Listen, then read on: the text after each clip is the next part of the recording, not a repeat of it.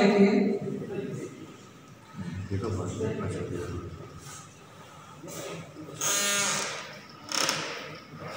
देखिए, वस्तु को स्थिति अब परिवर्तित हो गई है। अब ये कहाँ रखी हुई है? थर्ड क्वाड्रेंट में रखी तृतीय चतुर्थांश में रखी हुई है। तृतीय चतुर्थांश में रखी हुई है, लेकिन देखने वाले व्यक्ति की जो दिशा होगी, वो वही होगी। जहाँ जैसे फ़र्स्ट एंगल में थी वो दिशा नहीं परिवर्तित होगी लेकिन अब आप ये देखिए कि तल कहाँ है? बीपी जो वर्टिकल प्लेन है, वो है कहाँ पे?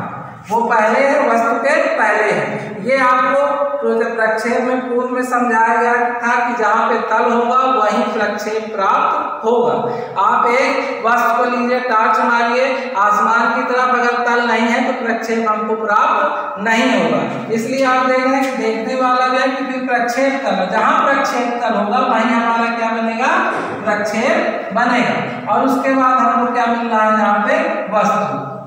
देखने वाला व्यक्ति, उसके बाद आपका प्रक्षेप और प्रक्षेप के बाद वस्तु। तो तृतीय कोणीय प्रक्षेप में थर्ड एंगल प्रोजेक्शन में क्या हो जाएगा?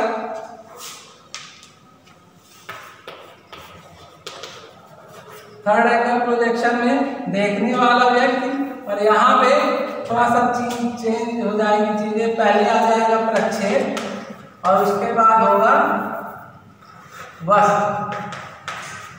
तो यहाँ पे थोड़ा कॉन्सेप्ट यहाँ से थर्ड एंगल में इतना बदलता है कि देखने वाला व्यक्ति, फिर उसके बाद प्रक्षेप और फिर वस्तु। हम दूसरे शब्दों में ये कह सकते हैं कि जहाँ से हम वस्तु को देखते हैं, उसी जगह पर हमें वस्तु का प्रक्षेप प्राप्त होता है। दाएँ देखने पर दाएँ और बाएँ देखने पर बाएँ प्राप्त होता है। ठीक है? अगर हम इसकी अवधारणा समझे कि यहाँ पे अगर हमने अभी समझा था फ़र्स्ट एंगल पे कि बीपी ऊपर होता है और एचपी नीचे होता है।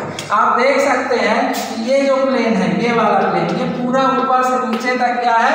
बीपी है। और ये यहाँ से यहाँ तक एचपी है। ठीक है ना? तो ये एचपी है क्योंकि बात यहाँ रखी हुई है। ठीक है?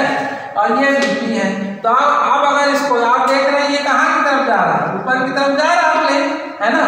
तो ये ऊपर की तरफ़ जा रहा है।